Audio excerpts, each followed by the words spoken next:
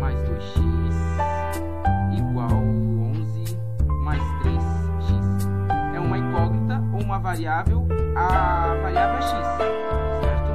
Então tem essa outra aqui, y menos, menos 1 igual a 6x é, mais 13 menos 4y. Certo? Duas incógnitas ou duas variáveis, 8x menos 3x menos 3x